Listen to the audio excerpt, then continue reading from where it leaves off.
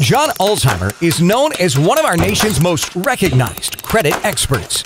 Having worked for 28 years in the credit industry, John has become one of the most prolific speakers about credit and the go to authority on answers to credit related questions. Credit Countdown with John Ulzheimer. Hello, this is John Ulzheimer. I am a consumer credit expert. I have almost 30 years of experience in the credit industry. I've worked for FICO, which is the company behind the FICO credit scoring system, and Equifax, which is one of the three credit reporting agencies in the United States. And I am currently sitting in Atlanta traffic, which um, is not fun. So today I'm going to uh, talk to you a little bit about um, kind of an alternative to normal garden variety methods of payment. So normally when you make payment on something, and I'm not talking about from a credit and borrowing perspective, I'm talking about if you go to a website and you buy something, how are you making your payments? And so most of the time when you're buying something from a website, think about like Amazon Prime, where you're on Amazon and you're buying something, you know, it's going to bill to whatever credit card you have on file. Same thing if you're like, you know, booking an airline ticket or, or rent a car or a hotel, or if you're buying anything online, um, like eBay or whatnot, then you're going to pay with whatever credit card you have on file uh, with the particular company. Over the past couple of years, um, a new alternative has become more common. Uh, not necessarily an alternative in lieu of paying with your credit card, but an additional alternative if you choose to take advantage of it. It's called Buy Now, Pay Later, or if you see it referred to kind of in the blogosphere, BNPL. Everyone loves to come up with an acronym for something. So Buy Now, Pay Later, BNPL. So if you if you ever see BNPL, you know that means buy now, pay later. And essentially what buy now, pay later is, is it gives you the ability to make a purchase on a website, but not pay for it until some time in the future. And so it kind of gives the perception that you're buying it on credit uh, because you don't have to pay for it right away.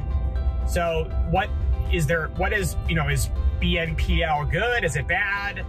What's what's the pro? What's the con? So there's a couple things to keep in mind. Most of the time, people who take advantage of these buy now, pay later options are doing so because they don't have a better alternative. And a better alternative is always going to be a credit card because you earn rewards. Um, you don't have to pay interest if you make your payment in full by the end of the grace period. You have ironclad fraud protections. And so there's really that's really the the kind of the, the optimal way to buy something online because it's just so efficient and your the protections are so fantastic for consumers. And of course you get the rewards points, which is not a bad deal either. Buy now, pay later, you you will pay interest. Um, it's almost like a short-term loan if you if you really want to kind of give it a, a comparison. Um, the interest rates are not necessarily egregious. And so they're going to differ by buy now, pay later um, provider. So you're going to want to do a little bit of research. I've seen buy now, pay later interest rates in the low double digits, which is usually actually better than a credit card.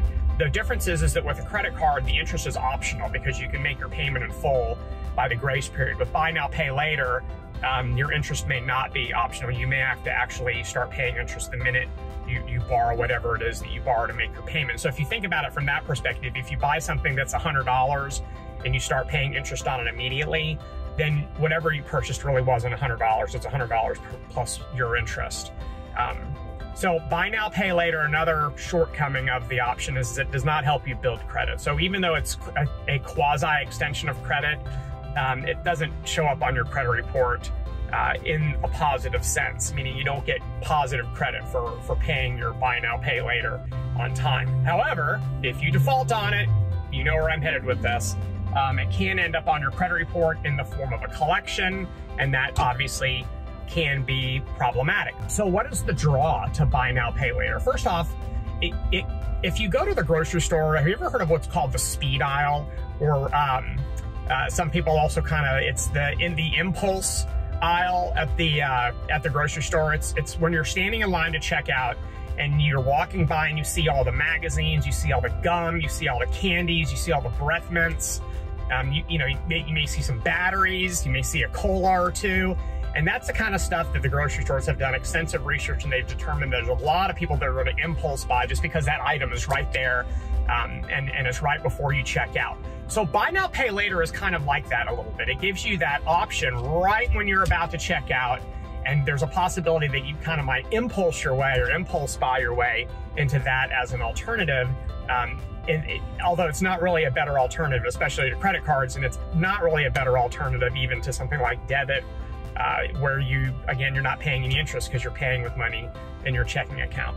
So if you're on a website and you see some of these kind of oddly named op payment options, those are probably buy now, pay later you know, do your research before you use them. I tell always tell consumers that, you know, before you click the buy button, make sure you do some due diligence. Um, thanks a lot for watching. If you have any questions about buy now, pay later, drop them in the section below. We'll talk again soon. Have a good day. For more videos and credit tips from John Ulzheimer, go to www.tradelinesupply.com.